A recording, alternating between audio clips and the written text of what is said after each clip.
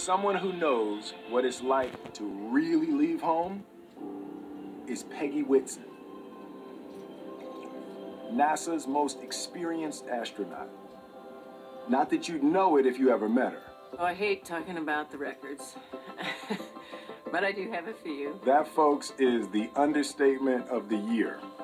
How about we start with most time in space for any U.S. astronaut? Which is 665 days. Think about that for a second. That's a round trip to Mars. then there's the longest single space flight for any woman in the world. Oh, that's right, yeah. And that's just for starters. 10 spacewalks, first female commander, and I don't remember any others. Oh, I'm the oldest astronaut, female astronaut. Not a record I was looking for.